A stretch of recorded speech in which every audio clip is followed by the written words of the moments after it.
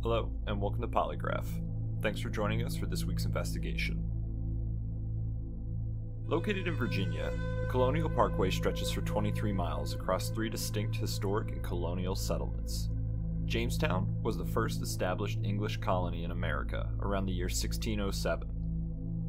In the early 1920s, there was fear the conditions of such historic places were reaching a point of being irreparable and needed to be designated as historic landmarks.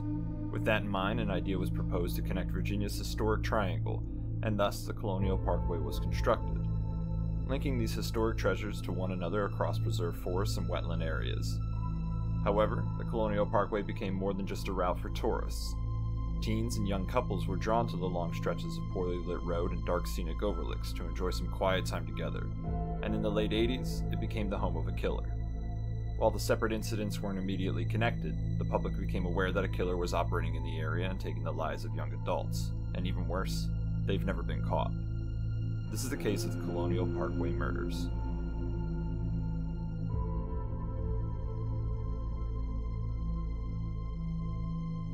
On October 12, 1986, which happened to fall on Columbus Day, a jogger out for an early Sunday morning run spotted something odd. As they approached the Cheatham Annex Overlook, roughly about seven miles outside Williamsburg, they saw what appeared to be a vehicle down an embankment. The vehicle had appeared to veer off the edge and into a thicket, impeding it from dropping into the York River.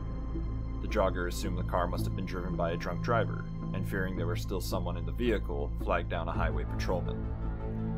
The patrolman navigated his way down to the wreck and discovered the bodies of two individuals, both female.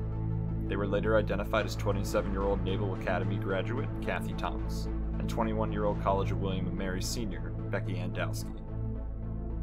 The couple had been reported missing as they had not been seen since the evening of October 9th, leaving the computer lab of William and Mary College. Upon investigation, something stuck out. What appeared to be a case of drunk driving developed quickly into a double homicide investigation.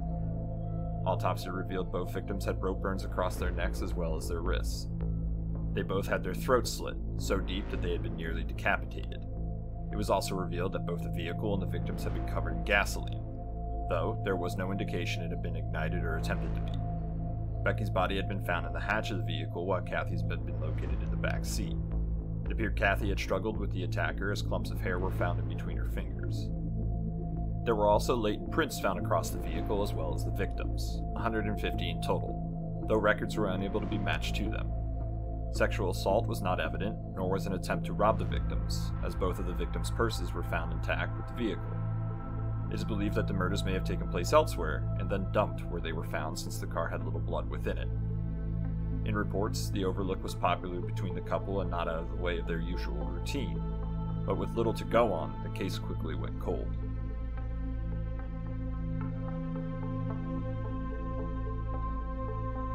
Almost one year after the horrific discovery of Kathy and Becky's murders, history began to repeat itself. On September 21, 1987, a patrolling officer spotted a running vehicle in the Ragged Island Wildlife Refuge. The black Ford Ranger seemed to be left running with its lights, wipers, and radio left on. Articles of clothing were inside, as well as a man's wallet, belonging to David Lee Knobling, 20 years old. David was a salesman from Virginia, but he had not been seen since September 19th. His father had got a search party together and began searching for David, starting from the vehicle and following the river downstream. On September 23rd, roughly two miles from the abandoned vehicle, the body of David was located as well as the body of a young female, roughly a hundred yards from one another. Their bodies had been washed ashore due to the tide. Both victims had been shot in the head, with David having an additional wound to his shoulder, and what would appear to be an attempt to flee. The body of the female was found to be 14 year old Robin Edwards. Robin was an 8th grade student at Huntington Middle School and had been engaged in a relationship with David despite her being a minor, and David being six years her senior. David also had a girlfriend who was pregnant at the time, but despite that, he was able to convince Robin to sneak out of her house the night they disappeared. Both victims were partially clothed. Robin had her pants unbuttoned and her bra had been wrapped around her neck, most likely in an attempt to strangle. Sexual assault was hard to determine, as it was believed the relationship between David and Robin was sexual, though there is no information as to why they had met up other than speculation. Interestingly, After finding out that the black Ford Ranger belonged to David, police inspected it again and noticed the driver's side window rode halfway down, implying that the killer could be impersonating a police officer. In time, the case was linked to that of Kathy and Becky, as they were both couples murdered at Lovers Lanes, just 30 minutes in distance from each other, despite the method of killing being varied. That following spring, on April 9, 1988, 20 year old Richard Keith Call was busy preparing for his first date with 18 year old Cassandra Lee Hailey. Both were students at Christopher Newport University, located in Newport News, and this was to be Keith's first date since breaking up with his girlfriend of four years, months earlier. The two planned to spend the day together, and Keith arrived in his red 1982 Toyota Celica to pick up Cassandra before heading into town. The couple was last spotted attending a party in the University Square area of Newport News, roughly around 1:30 a.m. When the pair failed to return to their respective homes after the date, they were reported missing on the morning of April 10th. Around 7 a.m. that same morning, Keith's unoccupied vehicle was spotted on the York River Overlook off the Colonial Parkway near Yorktown, Virginia. However, it wasn't reported until roughly 9 a.m. Upon investigation, nothing seemed to be disturbed. The keys of the vehicle were left on the passenger seat with Keith's watch and glasses on the dashboard. Almost all of the clothing Keith had been wearing was in the back seat, including his underwear, as were some of Cassandra's clothes and her underwear. Police were able to confirm it was indeed the clothing they wore the night they went missing, but both Keith's wallet and Cassandra's purse were missing, each containing roughly $20 in cash. Unlike the other linked cases, the bodies of Cassandra and Keith were not in the vehicle or found in the water. In fact, their bodies have never been recovered. Scent dogs led investigators from the car to the banks of the York River, but subsequent searches never provided any leads. It was speculated that the pair had perhaps pulled over to go for a late night swim, but the evidence for this theory cannot be corroborated. It's also important to note that the temperature outside was in the mid 40s, which isn't necessarily swimming weather. The pair also had no reason to stop along the parkway after leaving the party at 1:30 a.m., as Cassandra had a curfew of 2 a.m., and she was always insistent on being prompt. Extensive searches went up and down the river, but the pair is still missing to this day. Foul play is suspected, and given the location and fact that there was a couple, has linked this case to the Colonial Parkway murders. By this point, the parkway had become quite a spooky place to the locals. Most would not be caught there after dusk, and parents warned their children to avoid the area and under no circumstances go to any secluded overlooks after dark. However, it wouldn't be long until it happened again. Just under a year and a half after the disappearance of Keith and Cassandra, another vehicle was found abandoned at a rest area off Route 64. A gold 1972 Chevy Nova had been left at the rest area with its doors unlocked and the keys in the ignition. Dirt and grass was visible on the underside of the vehicle, suggesting it had been driven off road at some point. The purse was located in the back seat belonging to 18 year old Anna Maria Phelps. The car, however, belonged to 21 year old Daniel Lauer, neither of who were located at the scene. After some investigation, it was revealed that Lauer was in the process of moving to Virginia Beach from Amelia County, just south of Richmond, to stay with his younger brother, who was dating Phelps at the time. Phelps and Lauer's younger brother had some difficulty with their financials, and Lauer had offered to move in and assist monetary wise. Not wanting to make the drive himself to retrieve his belongings, Phelps had offered to go with him and help. The pair had been traveling back from Amelia County since 11 p.m heading in the eastbound direction towards Virginia Beach. However, when the car was located on September 5th, it was headed in the westbound direction, away from Virginia Beach. The car was also not positioned in the car parking lot. Had been left in the truck lot for big rigs, off the on ramp, heading back onto I 64, halfway on the shoulder and halfway in the road. Police were initially skeptical of linking this disappearance to the Colonial Parkway murders. In fact, it was the last thing anyone wanted, but given the circumstance, it was hard to ignore the similarities. Six long weeks passed by, and the police were finally able to make the connection between the disappearance of Lauer and Phelps to the Colonial Parkway murders. Hunters had come across the remains of two people, wrapped in an electric blanket, roughly one mile from the rest area off of I 64. After some investigation, it was found they were the remains of Phelps and Lauer. The remains were badly decomposed and mostly skeletal. No cause of death could be immediately determined, However, marks on the ribs and abdomen of Phelps indicated she had been stabbed to death. Police presume Lauer was probably murdered the same way. Even with the recovery of the bodies, the police were stumped in terms of finding the killer. but the similarities in this case compared to that of Keith Call and Cassandra Hailey were very compelling. Comparing the two cases, they tell us a lot about who the perpetrator was, or at least how they operate. It would seem in both cases the cars were purposely staged in areas where the killer wanted it to be found or seen, perhaps a taunt to the authorities. The game for the killer is leading police on a hunt for the occupants of those vehicles. In the case of Keith and Cassandra, they were successful in the fact that the bodies were never recovered. In the case of Lauer and Phelps, the killer lost, as the bodies were recovered eventually, even in such a dense and remote area. It's often thought that the violence of the crimes took place elsewhere, and then the cars were placed as bait to lead the police on the hunt for victims. Although it is unknown how Keith's red Celica ended up at the Overlook, we can safely assume how Lauer's Chevy Nova ended up in the westbound direction rest area parking lot. Lauer and Phelps must have pulled over around 1 or 2 a.m. for a break. The killer then approached the pair and, at gunpoint, or with some other way of convincing, led them back onto I 64 in the Chevy Nova, off exit 155, and then onto the remote road where the murders then took place. The killer then got back into the Chevy Nova, left the vehicle in the lot of the rest area, and had either left their own vehicle there or across the highway in the eastbound lot where the initial confrontation took place. There is also the speculation that this could be a pair of individuals, one doing the driving, the other apprehending the victims. We also see in the case of David Knobling that it's possible the suspect impersonated police to get cooperation out of the victims, Oddly enough, though, just as police and the feds began to link the cases and uncover their MO, the killing seemed to have stopped. In 1992, with more than two years without any Parkway murders, the feds believed that the killer had either stopped altogether, which is often unlikely, moved to a different part of the country, had died, or was incarcerated by another crime. While there has never been a suspect named in any of the cases listed, there have been some other victims that have potential links to the Colonial Parkway murders, but have never been conclusively listed as such. Some believe the 1984 murders of Mike Margaret and Donna Hall are the first victims of the Colonial Parkway murders. Mike and Donna were engaged to be married and had been in a relationship for over four years since high school.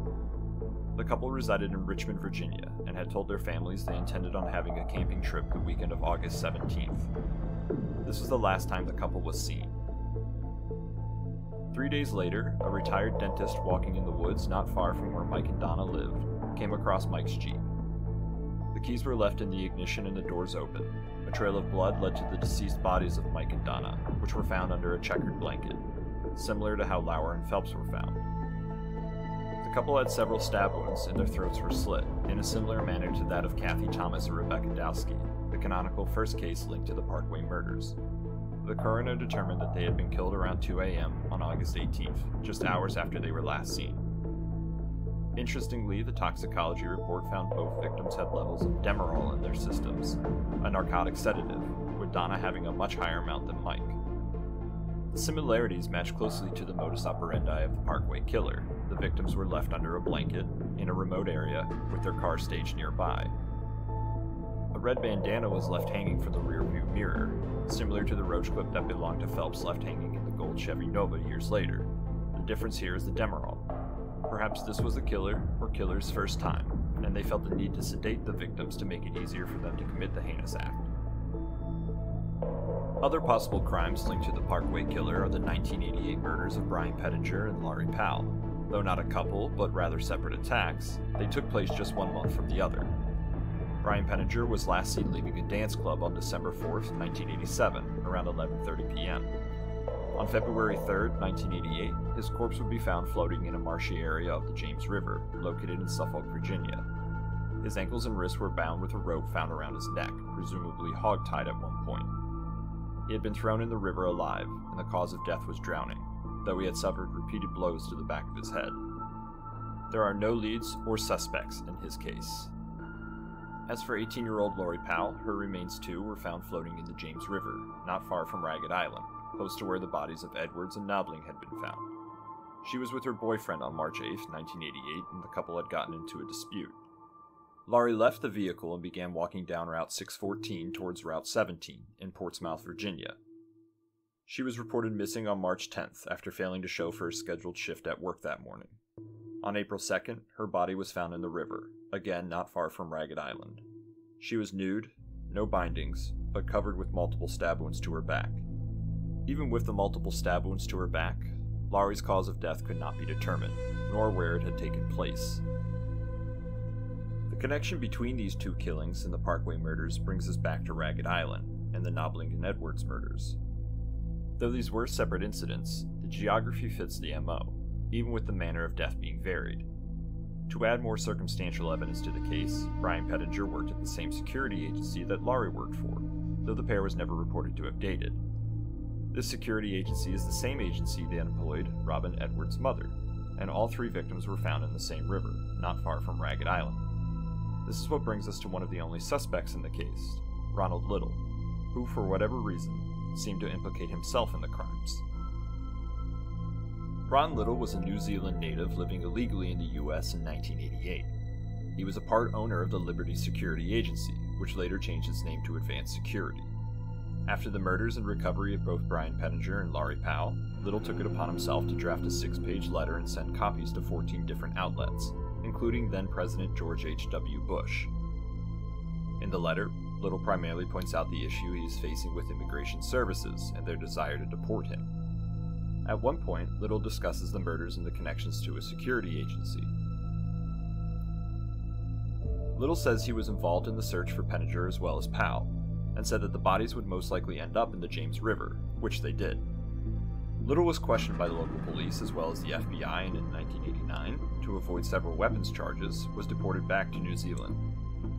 Little had a record in New Zealand as well, mainly for robbery and possession, and upon moving back changed his name several times or used aliases to cover his real name to avoid bad press.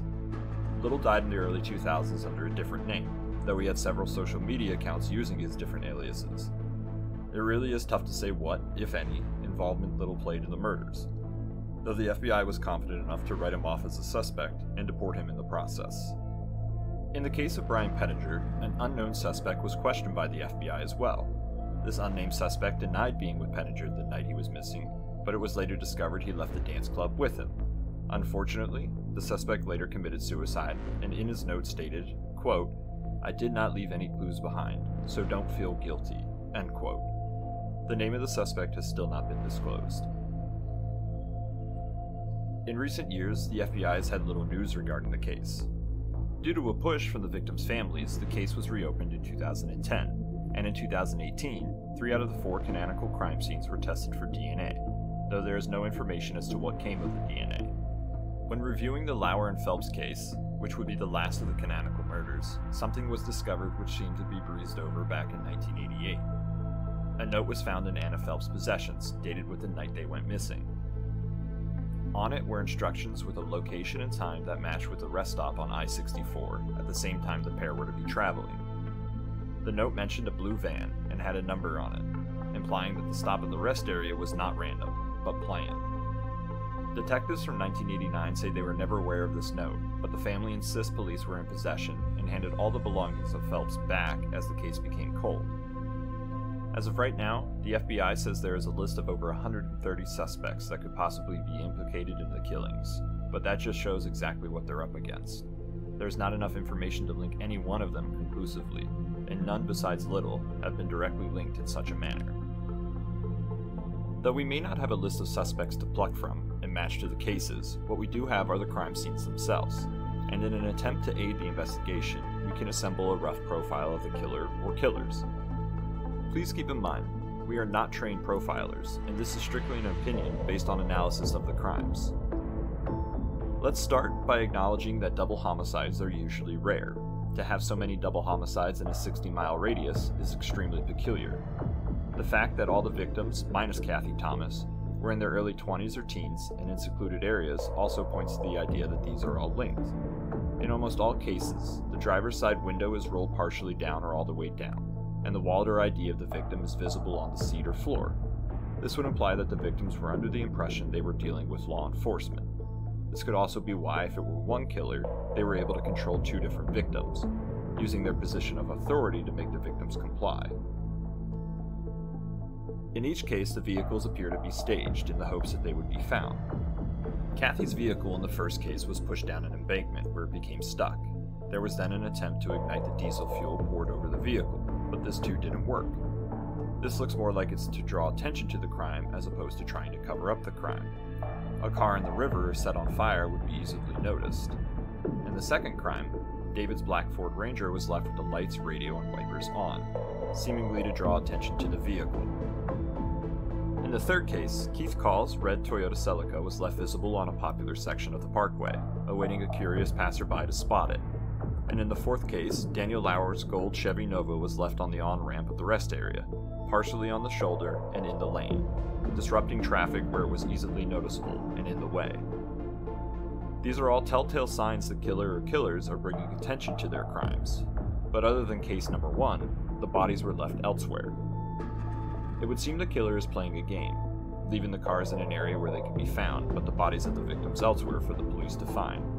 It's an act of taunt of a cold, evil, and calculated killer, not only getting off on multiple murders, but seeing their crimes in the press and enjoying the frantic searches to find his victims. One could also speculate that the killer or killers has a disdain for young romance, or some sort of, quote, moral enforcer, end quote. When it comes to Kathy and Becky, the killer did far more damage to Kathy than they did Becky. Some would say it's overkill, almost like it was personal. The couple was known to go to the Overlook on Thursday nights, and it's possible the killer knew the couple and targeted them specifically based on having a disdain towards their sexuality. In the case of David and Robin, we know that David seemed to have desires for underage women. His pregnant girlfriend at the time was just 16, and Robin Edwards was just 14. The killer could have known this one way or another, and used this to fuel his murder spree. It's unfortunate for Robin she was caught in the middle of this scenario. In the third case, Keith and Cassandra were young and good looking. Cassandra even modeled part time while Keith drove a flashy red car. The killer could have seen the pair and it sparked some sort of jealousy within them possibly because they weren't able to have that themselves. In the fourth case, Daniel and Anna weren't dating, but perhaps the killer knew this and had thought there was something else going on, once again fueling his anger towards romance. Daniel's younger brother, Anna's boyfriend, has stated she told him not to come for the trip as he had school the next day. He even said it was the first day of school and nothing would be happening, but Anna insisted he intend. we don't want to imply that there was anything going on between Daniel and Anna, however, it does seem strange for such a late night trip to move your boyfriend's brother from one place to another, not to mention the note found in Anna's belongings implying they were to meet someone else that fateful night at the rest area, all while her boyfriend was unaware. The killer, or killers, are most definitely male in our opinion, either in active law enforcement or impersonating law enforcement, most likely police or park rangers, possibly private security. Essentially, anyone believable enough with lights on their vehicle and carrying a flashlight and a gun. This male would have to be somewhat strong in order to dominate his victims, and also push a car over an embankment, as was the case with Kathy and Becky. However, they may be on the smaller side, as most of the male victims were roughly 6 foot tall. This person is probably not very social, unmarried, or has relationship problems. They would likely be slightly older than the victims or middle aged, but familiar enough with the territory to know the local hangout spots and lovers' lanes. Furthermore, the killer would need to be well versed in investigations in order to avoid detection with basic fingerprinting and crime scene analysis. There wouldn't be anyone better to set up a staged crime scene than someone who works on them. In the case of two killers, the profile is pretty much the same. The difference would be that one dominates the other. One is in control, and the other follows. This would make controlling two victims easier, as well as staging the vehicles and getting away from the scene of the crime. In a lot of these cases, it's presumed the murders take place elsewhere and the cars are then moved. If this is the case, an accomplice would make moving the bodies and staging of the vehicles much easier. We see this in the fourth case with Lauer's vehicle switching directions on I 64. It could be possible one was locked up or passed away, causing the other to stop, not comfortable enough to operate without their accomplice. It is our own opinion, however, that the killer operates alone and enjoys the thrill of having power over his victims and over law enforcement. Unfortunately for this case, there's not much to go on any longer. From our understanding, there is little the public is not aware of regarding the crimes. The FBI still has it as an open investigation, and they continue to pursue leads. DNA testing is constantly reaching new heights and could one day possibly lead us to a killer but it's also a possibility these cases aren't related at all. When reviewing the crimes and seeing the similarities, we want to believe that this is one suspect responsible, but there are a lot of other signs that they could all just be coincidence, perpetrated by different individuals. Polygraph hopes that one day Keith Call and Cassandra Hailey are found, and perhaps this could lead to new insights into the case, but as of now, it continues to be a mystery. If you, or anyone you know, has information regarding any of the cases mentioned in today's investigation, please call Crime Stoppers. Perhaps you hold the information that could find a killer.